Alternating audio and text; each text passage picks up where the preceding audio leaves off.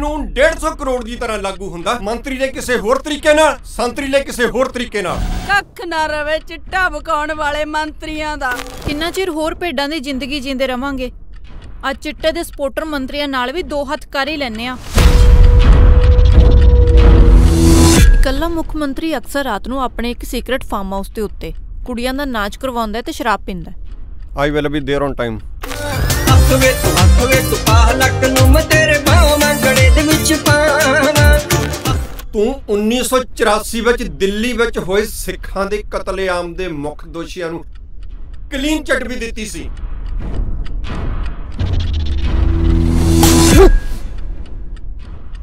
ਹਾਂ ਹਾਂ ਦਿੱਤੀ ਸੀ। ਗਲਤੀ ਹੋ ਗਈ ਮੇਰੇ ਕੋ ਮਾਫੀ ਮੰਗਦਾ ਵਾਂ। ਇੱਥੇ ਕਿਸੇ ਨੂੰ ਵੀ ਖੜੇ ਹੋਣ ਦਾ ਹੱਕ ਨਹੀਂ। ਕੁੜੀਆਂ ਨੂੰ ਇਹਨਾਂ ਮੰਤਰੀਆਂ ਦੀ ਚਕਰਾਂ ਨੇ ਸਮਝ ਪਤਾ ਨਹੀਂ ਕੀ ਰੱਖਿਆ।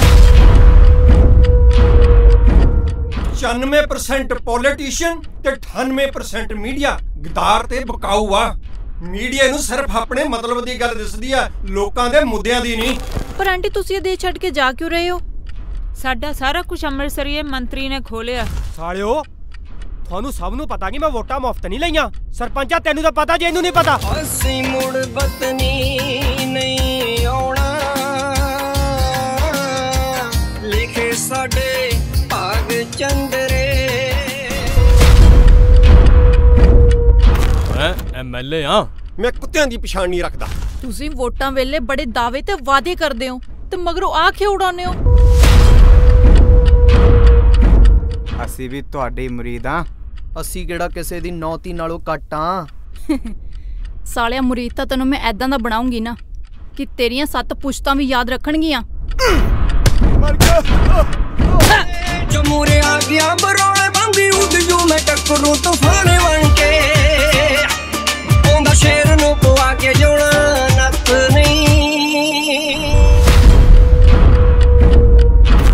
ਸਾਡਾ ਸਭ ਤੋਂ ਵੱਧ ਨੁਕਸਾਨ ਕੀਤਾ ਐਜੂਕੇਸ਼ਨ ਮਾਫੀਏ ਅਤੇ ਰੋਜ਼ਗਾਰ ਮਾਫੀਏ ਨੇ। ਨਾਲੇ ਸਰਕਾਰ ਵੀ ਤੁਹਾਡੀ ਬਣਾਈ ਹੋਈ ਹੈ। ਇਹ ਜੋ ਕੁਝ ਵੀ ਹੋ ਰਿਹਾ ਹੈ ਇਹ ਮੰਤਰੀ ਸਾਹਿਬ ਦੇ ਸਾਲੇ ਦੀ ਮਰਜ਼ੀ ਨਾਲ ਹੋ ਰਿਹਾ ਹੈ। ਸਰ ਮੈਂ ਕਾਲੇ ਅੰਗਰੇਜ਼ਾਂ ਦਾ ਸਫਾਇਆ ਕਰਕੇ ਆਪਣਾ ਫਰਜ਼ ਪੂਰਾ ਕਰ ਦਿੱਤਾ। ਜਦੋਂ ਤੱਕ ਕਾਲੇ ਅੰਗਰੇਜ਼ਾਂ ਦੇ ਨਾਲ ਨਾਲ ਕਾਲੀਆਂ ਭੇਡਾਂ ਦਾ ਸਫਾਇਆ ਨਹੀਂ ਹੁੰਦਾ ਤਦ ਤੱਕ ਦੇਸ਼ ਢੰਗ ਨਾਲ ਨਹੀਂ ਚੱਲਣਾ। ਨਹੀਂ ਛੱਡ ਕੇ ਮਗਿਆ ਨਹੀਂ ਅਸੀਂ ਭੱਜੀਦਾ